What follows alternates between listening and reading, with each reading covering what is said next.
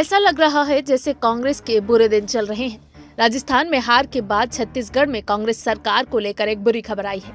दरअसल 17 दिसंबर को राज्य में कांग्रेस सरकार को दो साल पूरे हो रहे हैं। ऐसे में एक तरफ़ जहाँ सरकार अपनी उपलब्धियाँ गिनवाने में व्यस्त है तो वहीं दूसरी तरफ़ सरकार के ही एक वरिष्ठ मंत्री टी एस सिंह देव के एक बयान के बाद मुख्यमंत्री के कार्यकाल कितने दिन का होगा, इस पर एक नई बहस छिड़ गई है। छत्तीसगढ़ सरकार 17 दिसंबर को दो साल पूरा कर लेगी। हर तरफ़ सरकार ये बताने में जुटी है कि उसने इन दो सालों में छत्तीसगढ़ की जनता के लिए क्या किया है। इस बीच बिलासपुर में दो दिन पहले स्वास्थ्य मंत्री टी एस सिंहदेव ने एक बयान दे दिया, जिसके बाद प्रदेश में मुख्यमंत्री के कार्यकाल पर चर्चा शुरू हो गई है।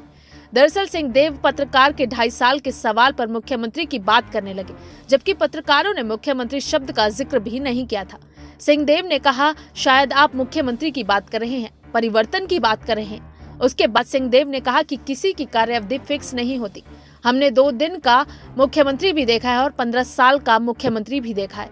ये सब आलाकमान के हाथों में होता है।